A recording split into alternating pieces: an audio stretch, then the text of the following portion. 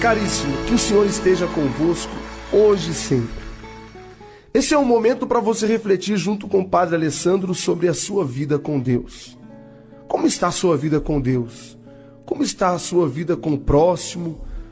Como está a sua vida com você mesmo?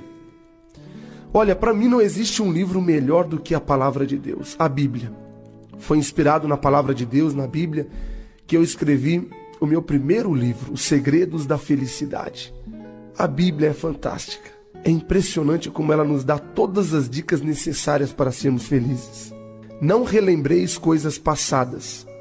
Não olhes para fatos antigos. Porque vivemos do passado, preocupados com o futuro e esquecemos de viver o presente. Olha, o momento presente, este é o único tempo que temos em mãos. O passado já se foi e não voltará nunca mais. O futuro não sabemos se existirá. Aliás, costumamos dizer que o futuro a Deus pertence.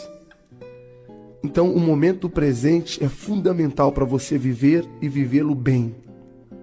O que nós estamos buscando para sermos felizes hoje? O possuir, o poder e o prazer naturalmente nos traz uma satisfação imediata, mas em breve uma solidão profunda, carregada de angústias, de sofrimentos, de depressão e de insatisfação. Esse fenômeno já foi tema nas minhas pregações várias vezes.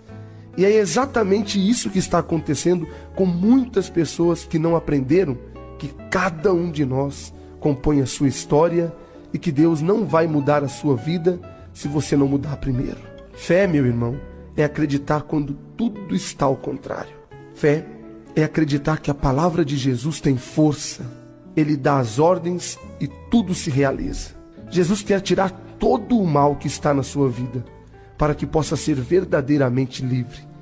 Ele é a verdadeira autoridade que dá as ordens. E é isso é isso que Jesus quer na sua vida e quando a ordem de Jesus é dada, é cumprida.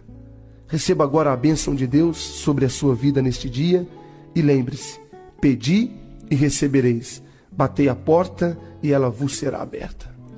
Senhor nosso Deus maravilhoso e eterno Pai, por intercessão de Nossa Senhora Aparecida, desça sobre a vida deste teu filho e desta tua filha a bênção de Deus Todo-Poderoso, livrando e os protegendo de todo mal, de todo perigo e de toda a doença do corpo e da alma. Em nome do Pai, e do Filho, e do Espírito Santo. Amém.